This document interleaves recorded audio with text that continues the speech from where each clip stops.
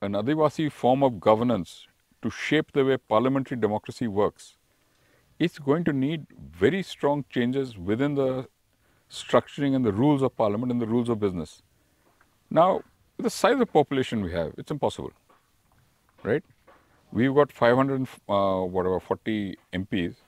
You can't operate a parliament if you're going to have 2 lakh MPs. It's impossible. So you forget it. So at the end, moment you start bring, bring, uh, bringing out a hierarchical system, you are going away from the traditional form of governance. You start devolving power down the ladder, okay, until it comes back to the village level, which does everything. Once, if you're willing to do that, then you would have a more functional form of democracy. But then, which leader has ever sacrificed power?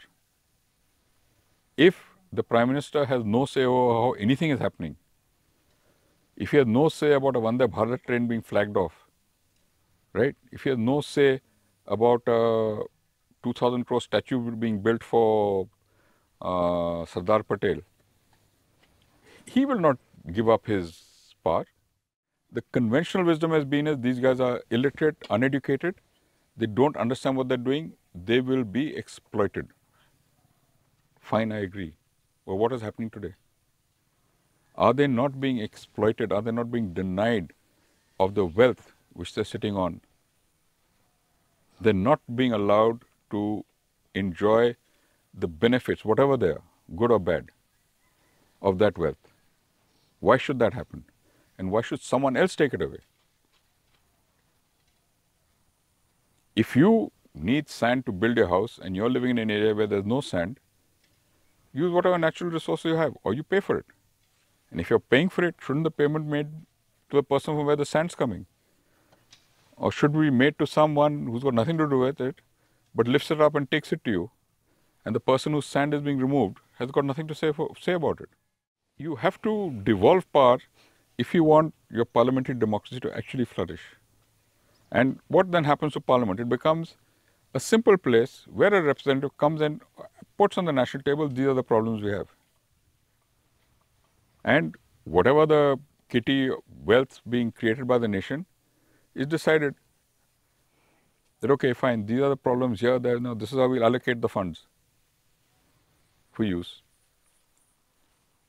And it should be, not a, you know, remote decision by someone who's, who's just doing electoral politics.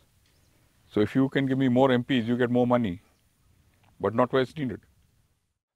If I want to build a railway uh, a line, it's existing from Ranchi to Calcutta, right? Then the villages which that line goes through have the ultimate say in that railway line being built. So when anything is being done, they are the first ones who are going to come forward and take credit for it. Do we want that to happen? No if, as I, as I pointed out earlier, if I've got sand in my village and I will choose which contractor is going to lift the sand, which bureaucrat sitting in the Ministry of Mining is going to agree to that, and which minister is going to agree to that because he's got no say. But then that is democracy. You're, you're putting power into the hands of the people who actually get mattered, who are affected by that decision, right or wrong.